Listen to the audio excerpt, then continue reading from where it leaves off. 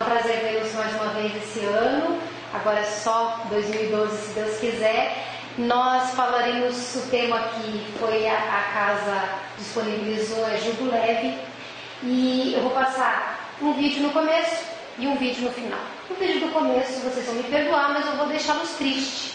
Eu preciso deixá-los tristes no começo para que eu possa explicar o tema e vocês sentirem na pele o que significa o jugo leve que Jesus mencionou. Eu vou passar o vídeo do começo, entre, explico e depois eu vou deixar todo mundo feliz no final. Eu espero pelo menos que no terminada a nossa conversa saia todo mundo aqui um pouco mais animado, um pouco mais feliz, um pouco mais disposto a vivenciar todos os seus momentos e a lutar na vida, porque é isso que a gente vai dizer aqui, lutar para conquistar diversos valores, diversos objetivos na encarnação.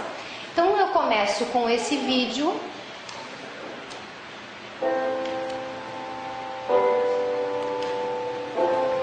Percebam que são só imagens. Eu recordo também de já ter passado uma vez, se não me engano foi aqui, mas é um, um vídeo bastante marcante que fala sobre a situação do nosso mundo, do nosso planeta, as dificuldades com a miséria, com a fome, com a violência. São muitas as imagens tristes que aparentam ter muita agonia nos olhos dessas crianças, dessas pessoas que vivem sem roupa, sem uma educação formal decente, sem amor, sem água limpa, sem banho, sem comida. A gente vê tristeza nesses olhares e a gente pensa: por que será que eles nasceram? Por que será que Deus permitiu que essas pessoas vivam assim, jogadas como se fossem lixos na rua, se expondo, pedindo para ter o mínimo, ou às vezes o menos do mínimo, sem energia para levantar, sem nenhuma esperança?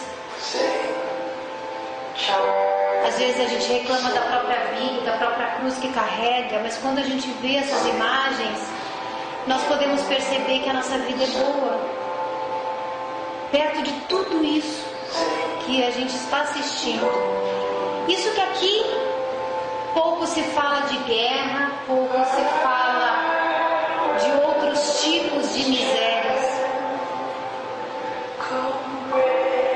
pessoas se mostrando indiferentes ensinando através do exemplo que é a violência, lágrimas que não se secam nunca, essa imagem que nunca é esquecida da bomba de Hiroshima.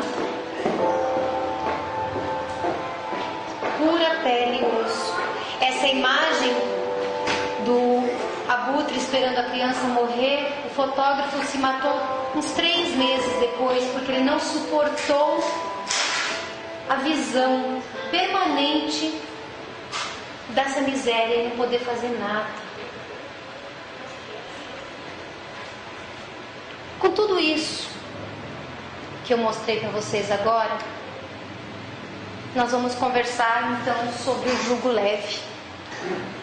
E nós trazemos o trecho de Mateus que cita Jesus e Jesus diz: Vinde a mim todos vós que sofreis e que estáis sobrecarregados, e eu vos aliviarei. Tomai meu jugo sobre vós e aprendei de mim que sou brando e humilde de coração, e encontrareis o repouso de vossas almas, porque o meu jugo é suave e o meu fardo é leve. Se a gente não consegue compreender Jesus, se nós não conseguimos compreender o significado destas palavras, as imagens que eu trouxe agora para vocês, imagens que estão aí, tem aos montes disponíveis no YouTube, em outros sites que falam deste mundo difícil de expiações que nós vivemos, um mundo que ainda é de expiações, que ainda está em trânsito para o mundo de regeneração, se nós não conseguimos é, compreender esta mensagem do jugo leve de Jesus, nós não conseguimos compreender o que, está acontecendo no mundo. Eu não posso entrar hoje, por questão de tema, nas questões pertinentes à reencarnação e à lei de ação e reação, mas aqui quem conhece um pouquinho que seja de Espiritismo sabe que nós acreditamos que a reencarnação explica as injustiças e que a lei de ação e reação ela esclarece por que determinadas pessoas sofrem mais que outras, por que determinadas pessoas têm uma vida mais difícil, por que, que a minha prova é diferente da sua prova, por que a sua expiação é diferente da expiação dele. Então a lei de ação e reação explica tudo. Mas entender isso somando com o entendimento do porquê que o jugo de Jesus é suave e o fardo é leve, muda todas as condições de compreensão e faz com que a gente viva a vida um pouco melhor.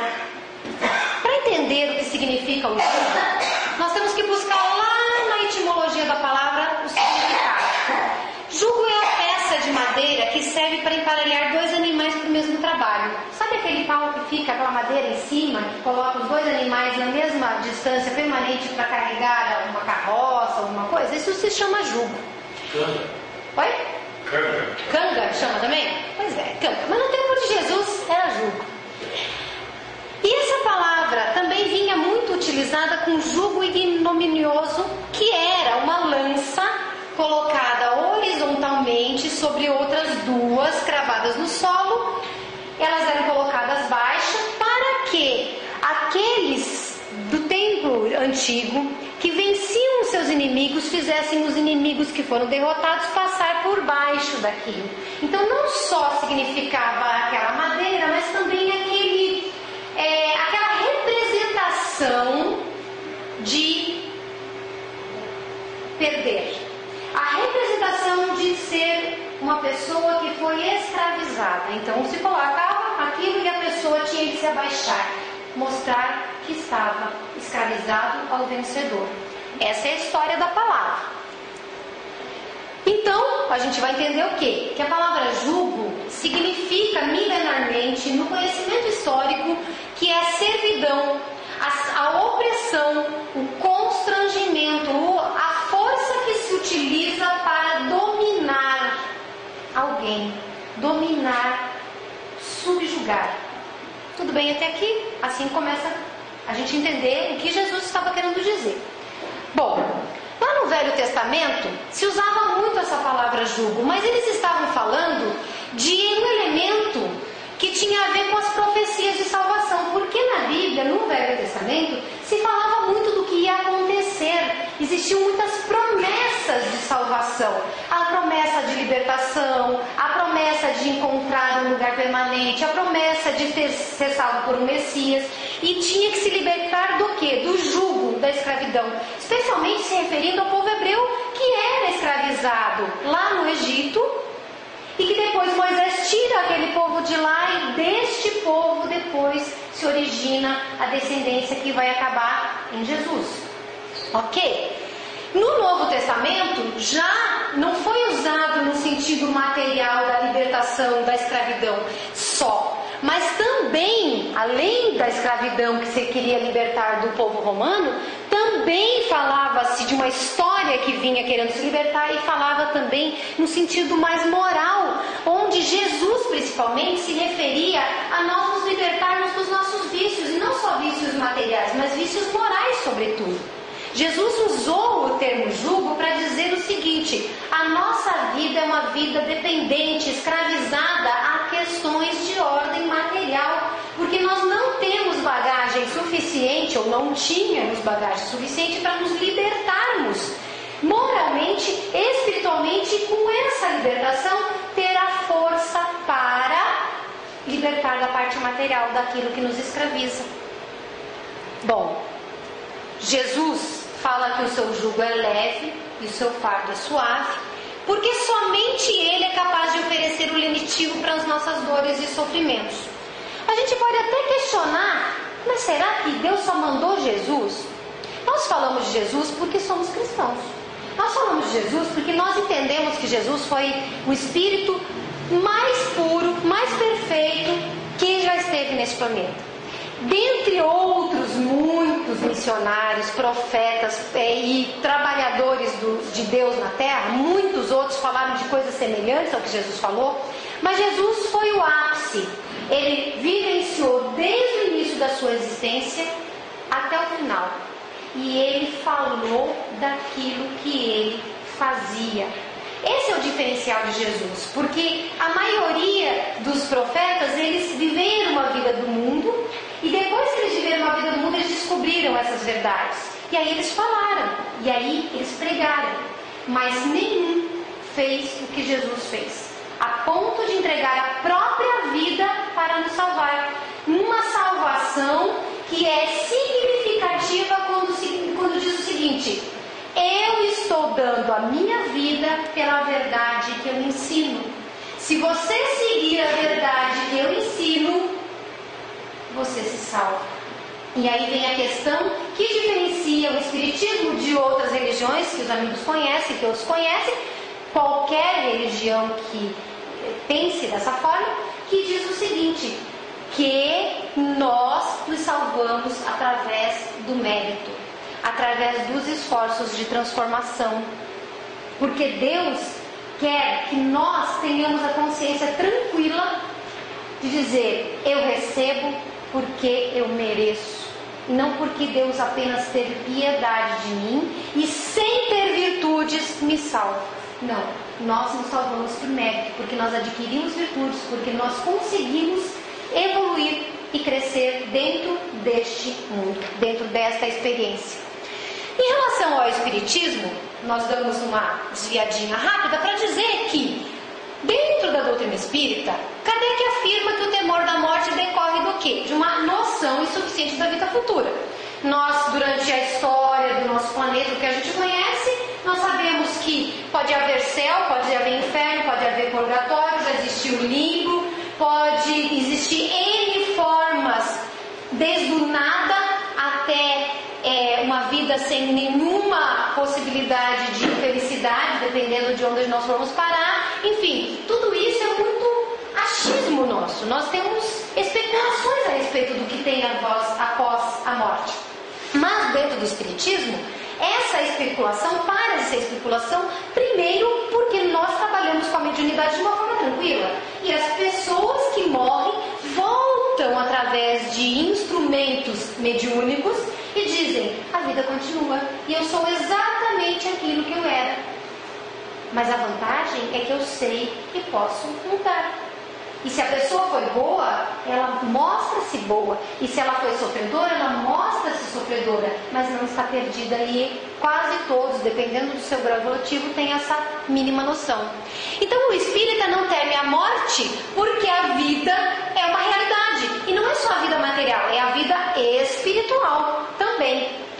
Nós Sabemos que continuamos sendo indivíduos com os sentimentos, com o conhecimento adquirido, com a bagagem que nós colocamos na nossa mochilinha antes de partir, e essa bagagem é tanto mais fácil de carregar quanto melhores fomos, tanto mais dolorosa e pesada quanto maus fomos. E aí, mesmo sem a, a vestimenta física, não deixamos de ser nós mesmos. Bom, isso em relação à vida espiritual. Agora, acontece a mesma coisa em relação a essa vida material aqui.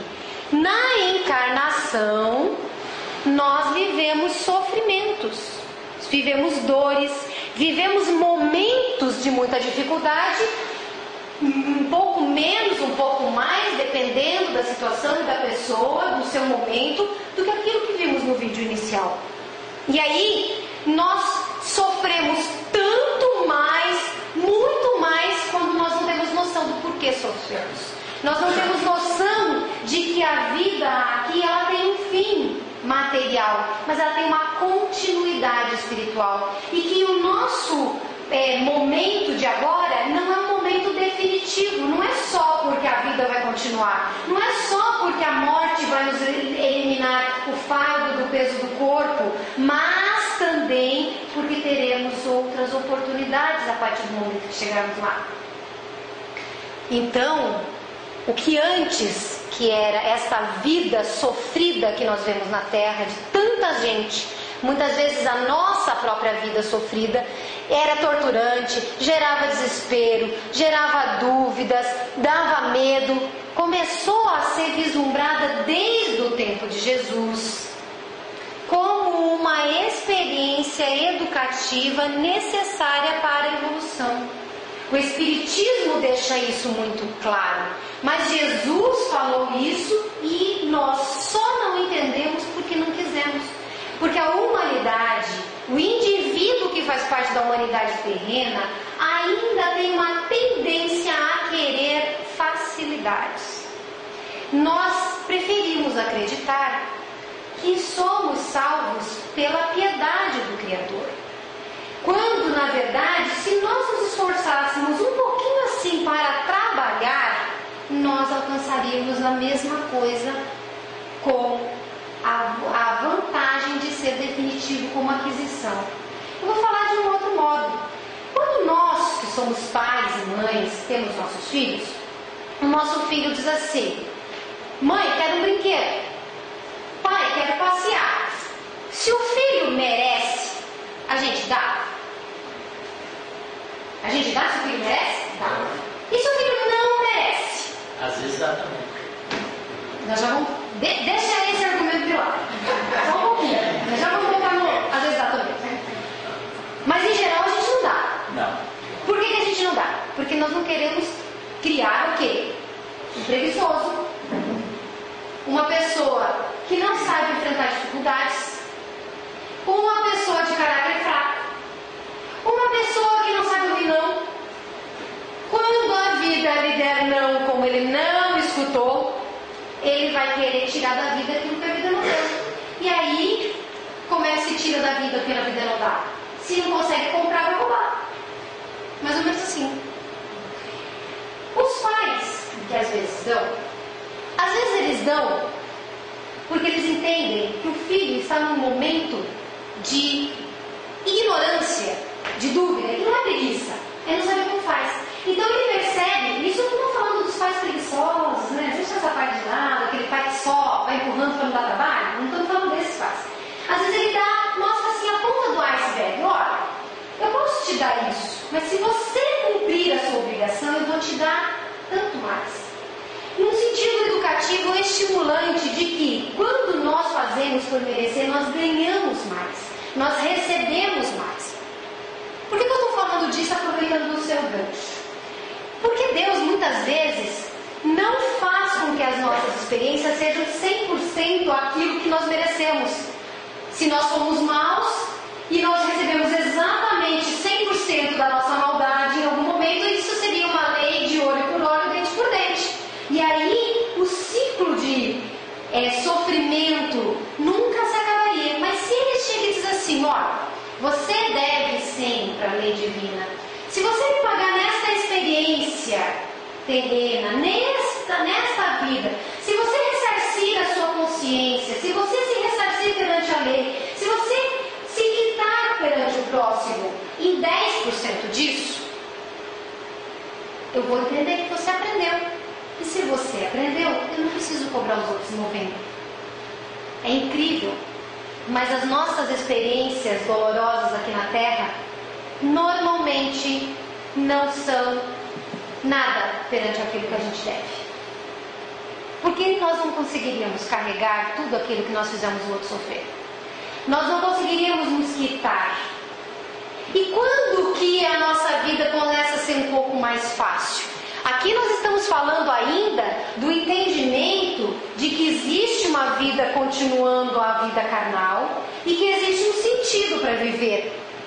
E aí, nós, quando entendemos que a vida espiritual é o verdadeiro mundo, que todos voltaremos para casa, que levaremos uma bagagem aqui, que seremos tanto mais felizes quanto melhor vivenciarmos a experiência, entendendo que este mundo não é permanente e que quando a morte chega, ela não é mais nada do que uma porta que se abre para passar por uma outra dimensão e não um fim, nós acabamos sofrendo com um pouco mais de paciência.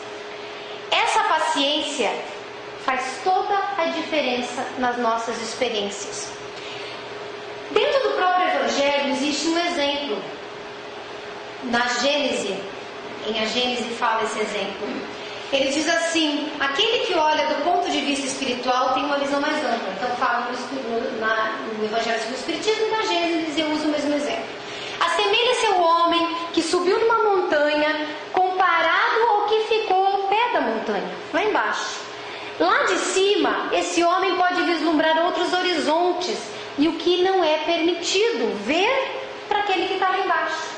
Então, quando nós, quando nós conseguimos entender a mensagem do Cristo, entendendo que a vida não é só isso aqui, só matéria, só o sofrimento, só a dor, só essa constante, esse, esse constante estresse de sobreviver. Quando nós conseguimos entender que o Pai amoroso nos colocou na escola e que nós estamos nessa escola porque somos o tipo de aluno que essa escola recebe, então é como se nós subíssemos na montanha e conseguíssemos vislumbrar outros horizontes, dizendo: puxa, se eu conseguir amar como Jesus ensinou, eu terei uma vida mais simples, mais fácil. Se eu conseguir perdoar como Jesus ensinou, eu conseguirei viver sem tanta dor, sem tanto sofrimento moral, sem esperar tanto que o outro faça o que é minha parte. Se eu conseguir fazer as coisas de uma forma certa, de uma forma correta, como a lei de Deus pede que nós façamos, como Jesus exemplificou que é possível fazer, então, essas experiências que hoje doem, porque nós não sabemos o sentido delas na nossa vida, elas passam a ter uma lógica, elas passam a ter um motivo. E aí nós dizemos o seguinte: antes éramos alunos repetentes que não queríamos prestar atenção no que se ensinava na escola, quando vinha o momento da prova, reprovávamos, falhávamos. Mas agora nós amadurecemos. Tudo bem, atrasamos um pouco em relação talvez ao nosso colega, mas nós amadurecemos. Então agora a professora, o professor, os colegas, todos que compartilharam conosco trouxeram experiências. Eu aprendo com a experiência. Na hora de vir a prova, eu já sei a resposta. Talvez eu ainda não tire 10, mas se eu conseguir tirar a média, passar daquela fase, a vida foi melhor. Eu que saí agora, esses dias de semana de provas, passei o semestre inteiro estudando, caprichando. Estudei nos dias da semana de prova. Fui lá, fiz as notas, algumas melhores, outras piores, mas eu passei. Hoje, quinta-feira, que dia hoje? Dia 15, 15 de dezembro. Semana que vem, já perto tudo Natal, tem gente fazendo prova. Por quê? A maioria porque não conseguiu esforçar-se durante o período que devia ter se esforçado. Quando chegou a prova, não estava pronto. O que acontece conosco quando acontece isso? Nós reencarnamos numa experiência que poderia ter sido mais fácil, mas não é.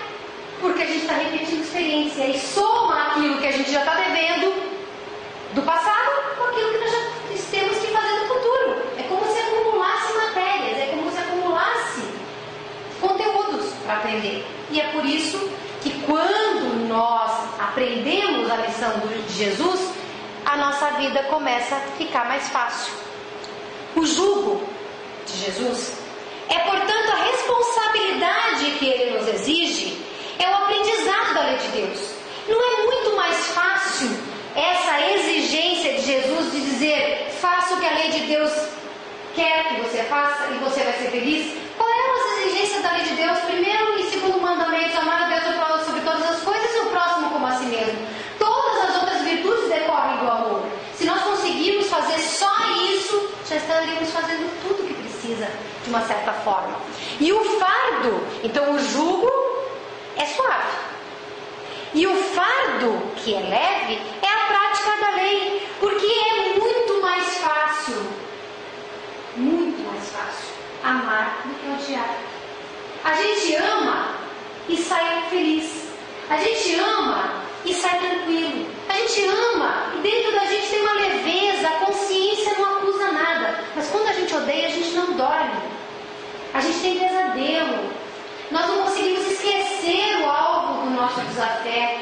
Nós não conseguimos esquecer o que ele nos fez. Nós não conseguimos parar de pensar em como seria, qual é o método que nós deveríamos usar para nos vingar. Então, o fardo do amor, que é o fardo que Jesus nos ensina, é um fardo leve.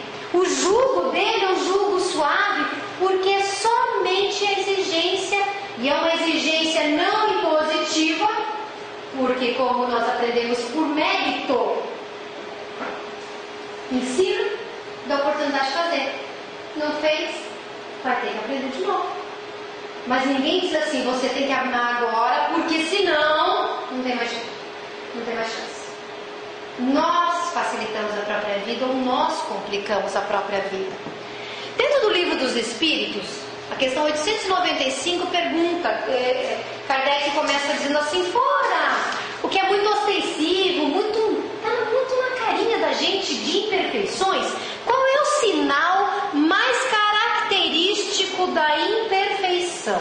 Ele quer saber de todos os defeitos que nós temos, qual é o mais característico? Não o fato de nós tomarmos algo de alguém por egoísmo. Isso é um gesto muito patente. Ele fala assim, os outros sinais, aqueles que a gente pode perceber o que tem por trás. E aí, os espíritos respondem: o interesse pessoal. Pode um homem, dizem os espíritos, possuir qualidades reais que levem o mundo a considerar um homem de bem. Nós muitas vezes consideramos alguém pela aparência um homem de bem. Uma pessoa sóbria, uma pessoa que faz caridade, pelo menos aparentemente para o mundo é uma pessoa do bem. É assim que a gente julga. Deus não julga assim, pelas aparências. Deus julga pelo que vai dentro do coração, que vai, nós carregamos na alma. E aí os Espíritos dizem, mas essas qualidades, com quanto assinalem um progresso, porque comportar-se de uma forma que aparente ser do bem, já é um progresso, porque tem muita gente que nem faz isso. Então, quando nós nos esforçamos para estar andando reto, mesmo quando erramos, já é um progresso. Só que nem sempre esse progresso que nós já adquirimos, que nós já conquistamos, que é o de estar tentando andar na linha, nem sempre suportam certas provas. Às vezes basta que se fira a corda do interesse pessoal para que o fundo fique descoberto. Um exemplo que não dá para nós entrarmos no mérito de cada um discutir, mas depois cada um pensa. Existe um, um, pequeno teste que às vezes nós fazemos nos nossos grupos de pais, aqui trabalhos com os pais. Existe uma pergunta que a gente fala. O nosso amigo tem um primo que é traficante. E esse traficante oferece dinheiro. Ele não aceita. Só que um dia, por que, que não aceita? Porque é dinheiro do tráfico, porque tem venda de armas no meio, porque famílias foram destruídas, porque as pessoas morrem. Enfim, tem N razões para aquele dinheiro ser um dinheiro sujo que a gente não deve aceitar. Fazer uma festinha? Não vou aceitar esse dinheiro. Só que esse mesmo homem um dia descobre que o filho está doente. Aí entrou no interesse pessoal. Vocês concordam comigo? Já mudou tudo. Aí o traficante oferece. O dinheiro deixou de ser sujo? Aí a gente diz assim, ah, mas eu vou limpar o dinheiro, porque esse dinheiro vai passar a ser um dinheiro nobre, porque vai salvar aquilo que eu fiz. Como se Deus não tivesse meios e métodos de mandar a cura é, através de uma outra fonte, a mandar a oportunidade através de um outro meio. Nós tivéssemos que nos sujeitar. Então aí aquele dinheiro para de ser sujo, porque existe interesse pessoal. Claro, eu estou falando de um exemplo assim que é altamente gritante para vocês arrancarem de cadeira dizendo assim, mas fosse meu filho, claro que eu pegava. Eu não vou discutir isso. Eu só quero que vocês entendam o quanto que o interesse pessoal muda a perspectiva, porque nós ainda não temos virtudes para conseguir separar determinados comportamentos de outros. Quando é o parente do outro que vai ser vereador corrupto, a gente critica. Mas se é o meu irmão que diz, ó, oh, quando eu for eleito, eu vou dar uma vaguinha de emprego para vocês, todo mundo vai votar. Vocês entendem o que eu estou tentando dizer? sobre a respeito do, do interesse pessoal? O que os espíritos querem nos falar é que o verdadeiro desinteresse é coisa ainda tão rara na Terra que quando se patenteia, todos admiram como se fosse um fenômeno.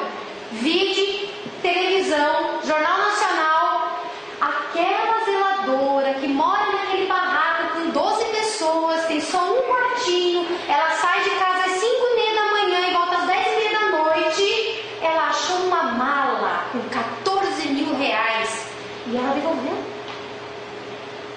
Vejam a que ponto nós estamos.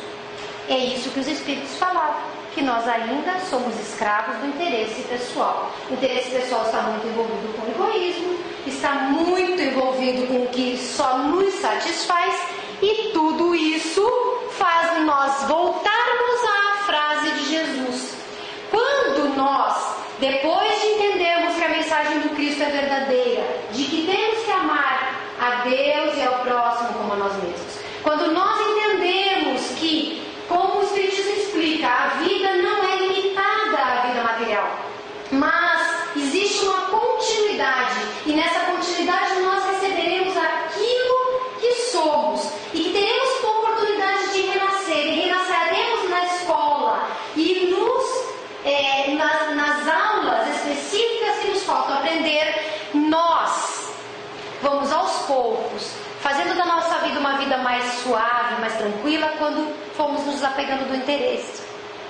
Quando formos nos desapegando do interesse, nós vamos conseguir viver melhor. Porque daí não existiriam mais aquelas crianças e aquelas pessoas do primeiro vídeo. Aquelas crianças e aquelas pessoas que estão morrendo de fome, de sede, no meio da sujeira, sem educação, sem oportunidade, sem amor, aquelas pessoas são filhas do egoísmo de cada indivíduo dessa humanidade. Pelo menos falando de uma forma geral enquanto humanidade. Graças a Deus. Graças a Deus. E é essa a mensagem do Cristo. E mensagem que as religiões trouxeram no decorrer dos séculos para cá que o Espiritismo procura reviver na sua essência mais pura. Essa mensagem está despertando a humanidade. E nós já não estamos nos satisfazendo em ver essas imagens sem serem nos, to nos tocar o coração. Nós já estamos fazendo um trabalho diferente. Aqui do lado do centro tem uma creche de 50 crianças. Assim que a construção estiver pronta aqui na frente, serão 100 crianças. E ao mesmo tempo que essas 100 crianças aqui serão atendidas aqui, aqui ao lado tem o SOS, é um trabalho da prefeitura e tem gente que também vem contribuir, que está alimentando a gente que na rua. E no centro da cidade tem a Santa Marta, que é um trabalho da igreja. E existem outros grupos que não estão ligados a religião nenhuma, em que as pessoas estão estendendo a mão. Nós estamos nas vésperas quase do Natal e é um momento em que nós começamos a pensar Sim, existe as pessoas que ainda são, é, refletem a questão do Papai Noel e do consumo, mas nós não deixamos mais de pensar no porquê estamos comemorando. É uma data simbólica? É uma data simbólica, ninguém sabe que dia Jesus nasceu, mas é a vida dele que está sendo comemorada. A vida dele por quê? Por causa desta mensagem de amor e de dizendo: Eu carrego o teu fardo contigo, eu ajudo com que o teu jugo fique menor, mais suave, porque o amor que eu trouxe e provei que é possível sentir, esse amor é o que sustenta, esse amor é o que eleva, é o que dá forças, porque a nossa vida nos exige permanentemente duas coisas: resignação e coragem. Resignação não é aceitar tudo como se a vida não tivesse que ser lutada para conquistar coisas melhores. Resignação é a aceitação do que não dá para mudar. E a coragem é um esforço permanente de mudar aquilo que dá. Eu não posso, nem vocês não podem, fazer com que na África não tenha fome. Mas se nós conseguirmos tirar a fome de uma criança, aqui, nesse bairro, talvez nessa rua, nós já estaremos fazendo uma parte. E aí o nosso fardo e o nosso jugo começa a se tornar mais suave. Porque, primeiro, nós estamos compartilhando do amor. E o amor nos dá forças. Segundo, quando nós desencarnarmos e passarmos daqui para melhor, nós não teremos a experiência de vivenciar uma vida ruim espiritual. Porque nós não recebemos aquilo que não somos, mas se nós somos irmãos aqui, que que nós recebemos do outro lado? Coisas boas. Recebemos amor. Uma coisa importante a gente saber: está sim de gente encarnada querendo que nós soframos para protelar o desenvolvimento desse planeta. Eles vêm encarnando exatamente para isso. Da mesma forma que, como espíritas, para nós tranquilo falar isso, existem muitos espíritos do outro lado morrendo de medo de que esse planeta passe definitivamente para o mundo de regeneração, porque eles não poderão mais estudar nesta escola. Então, eles estão fazendo de tudo para pegar nas nossas invigilâncias, as nossas fraquezas e nos fragilizando naquilo que ainda não conquistamos em definitivo, que são as virtudes, nós atrasarmos o próprio desenvolvimento e, por consequência, o desenvolvimento do planeta. Mas não esqueça, por pior que sejam as imagens que a gente vê do mundo lá fora, na TV, na rua, no rádio, na internet, no jornal, tentem ver as boas notícias. Tentem ver quantos tem pessoas agora salvando pessoas através de muitos gestos de amor, inclusive em relação aos animais, porque o que tem se maltratado de animal, vocês têm visto as notícias, eles têm mostrado os maus pendores, a má índole das pessoas com relação aos animais. Quem maltrata um animal não maltrata um ser humano? Maltrata, pois o bichinho é super indefeso, conta com você, e aí você maltrata o animal, você vai maltratar o ser humano. Mas apesar desses, existem pessoas e mais pessoas, cada qual trabalhando do seu jeito. Tem a pessoa que salva o animal, tem a pessoa que cuida da criança abandonada, tem a pessoa que dá amor aos idosos, tem a pessoa que visita os presidiários, tem a pessoa que vai nas casas religiosas para trabalhar em prol do próximo de muitos modos. Uns falam, outros dão passe, outros fazem a cesta básica, outros emprestam livro e cada um de nós vai fazendo a nossa parte.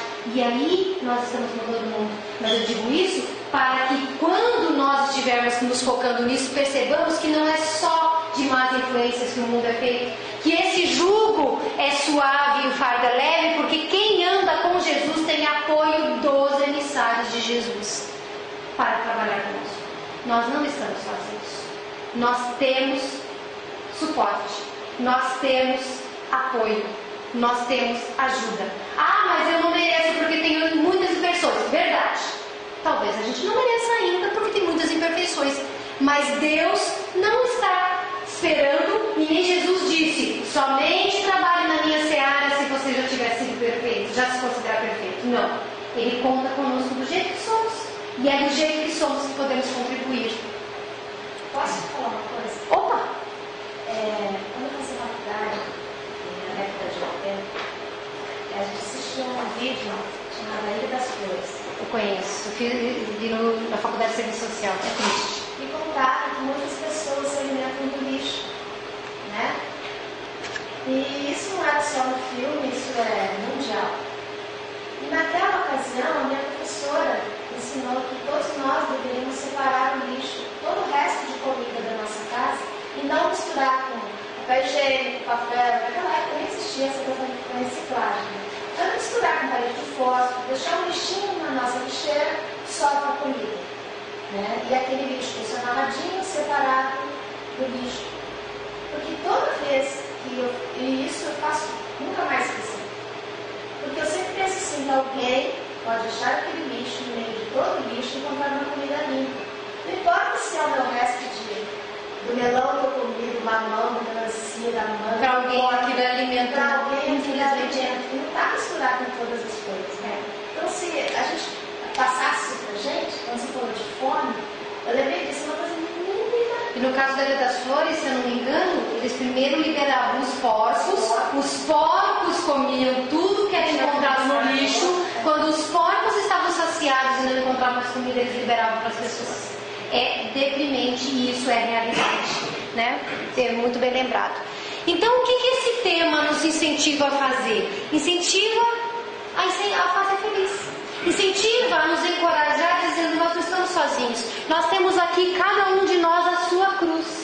Cada um carrega a cruz da força que tem. Só que apesar dela ser do tamanho dos nossos ombros e das nossas responsabilidades passadas, das ações e das reações daquilo que fizemos no nosso passado, apesar disso, é como se nós víssemos o Cristo atrás de cada um de nós aqui ajudando a carregar Por quê? Porque quando nós fazemos o que ele faz, o que ele fala, nós conseguimos ter mais força para vencer. E é possível. Essa questão do lixo é, pode, ser, pode soar até estranha, né? Nossa, mas eu vou jogar comida no lixo, vou embalar porque eu quero que alguém coma? Não quero que ninguém coma. Mas se tiver alguém no meu caminho que seja infelizmente miserável a ponto de ter que catar do lixo para comer, que seja uma comida minha. É triste a gente sair em 2011 e ter que falar uma coisa dessas mas é uma forma de fazer caridade dentre milhares que poderiam existir.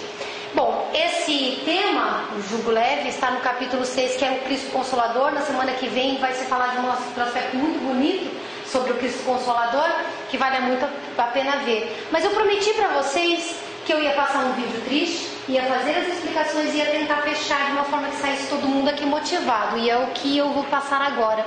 Uma mensagem que eu entendo que é muito bonita, que se chama Olhando de Outro Lugar.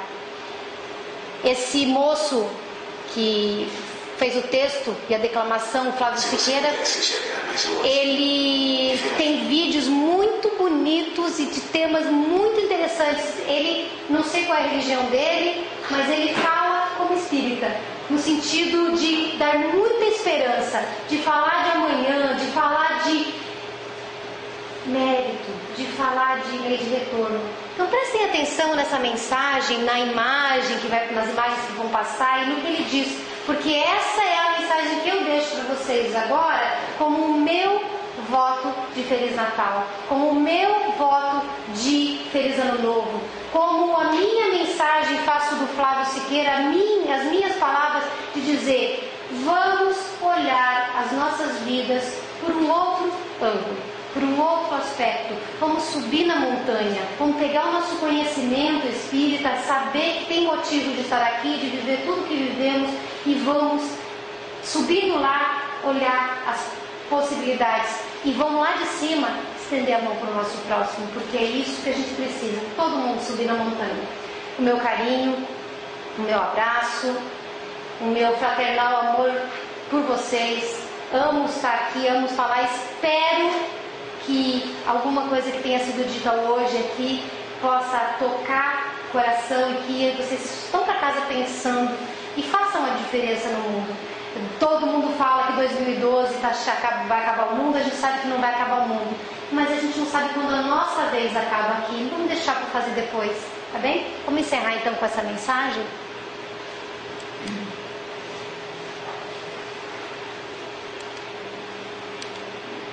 ver a vida por outro lado. Onde fosse possível ir a lugares desconhecidos e tudo que te aflige parecesse insignificante. Saísse desse chão, pisasse nas estrelas, vendo tudo aqui de cima. Você saberia que as coisas nem sempre são o que aparentam ser. Confiaria menos no que vê e mais no que sente seria tolerante com seus erros e aprenderia a perdoar. Saberia o valor da gratidão e se afastaria da condição de juiz da humanidade, lembrando que antes de todos, você é humano e cheio de ambiguidades. Se visse mais longe, deixaria de se preocupar com o que os outros pensam sobre você. E saberia que isso não vale nada Começaria a prestar atenção nas pequenas coisas. Valorizaria o seu tempo, pois entenderia que só existe um dia chamado hoje. É nesse dia que você tem para viver. É hoje que você tem para ser. Se pudesse chegar mais longe, abriria mão do seu orgulho, mudaria suas prioridades, andaria por outros caminhos saberia para as pessoas invertendo seus valores. Se soubesse que o poder está na fraqueza e o tesouro na sabedoria, buscaria o conhecimento e aprenderia a descansar, sabendo que os seus esforços não darão em nada. A vida é graça e é dela que você depende. Olhe para cá e veja que sobre você é o firmamento que as estrelas te veem e que você não está sozinho. Há muito mais do que você pode ver. Se pudesse chegar mais longe, tudo seria diferente. Tudo pode ser diferente. Hoje praticamente já acabou. Mas a gente ainda vai para casa, vai saber o que vai acontecer no nosso caminho. Mas amanhã começa tudo de novo. E vocês terão o hoje para mudar e fazer diferença no mundo. Que Deus abençoe a todos, que Jesus acompanhe cada um de vocês nos seus lares e que vocês tenham uma vida de muita luz para si mesmos e para o próximo.